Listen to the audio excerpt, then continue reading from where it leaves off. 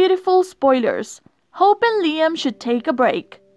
It seems that the Bold and the Beautiful fans are getting tired of Hope Logan and Liam Spencer always playing the alpha. And I guess they're sort of tired as well. I mean, it's been a long time since we've seen Liam as the only character who has been overexposed. I think that the writer should let Thomas Forrester, Wyatt Spencer, and Carter Walton in the picture now. The younger men should get some chance now. There ought to be some new women as well. So that new romance blooms along with new affairs, new partners, you know. Fans believe that the showrunners should now bring someone else in the picture. Maybe next year they can still keep Lope together.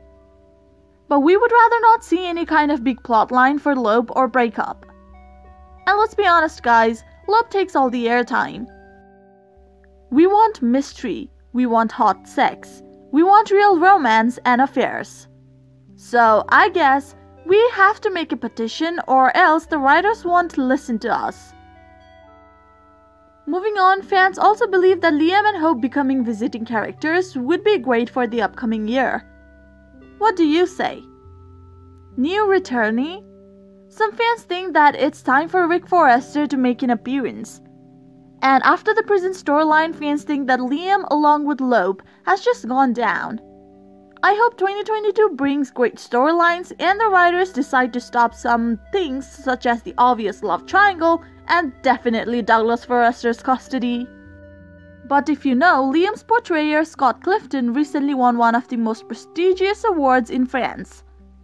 So the showrunners might think it's a waste if they let him go. So I guess Bradley Bell won't want Liam as the sideline. But even so, Maybe one of the reasons why Liam is the only best actor is that they aren't giving any opportunity for other actors. Look, no hard feelings for Scott. But Liam's character is going too overboard and we want to change. But there are some fans who would trade Steffy Forrester's piece instead of Liam Spencer. I mean, they just despise her so much they'd rather see her suffer.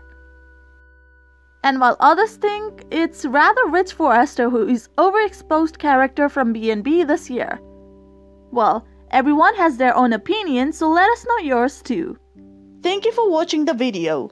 If you enjoyed the video, make sure to check some of our other videos. And we hope to see you again in the next video.